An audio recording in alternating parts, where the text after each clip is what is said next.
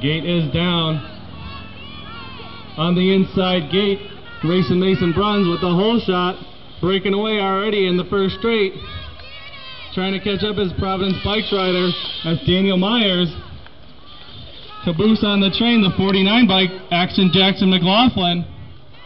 Wide A range, we got a 7 intermediate on the front side, 6 year old Myers, and 2 5 year old McLaughlin. Looking strong, 5 intermediate is a tough class to crack. You got to be good to make intermediate at 5 years old, so give him credit. But we'll take Ra- Rayson Mason Bruns to the main, and we'll take Daniel Myers to the main.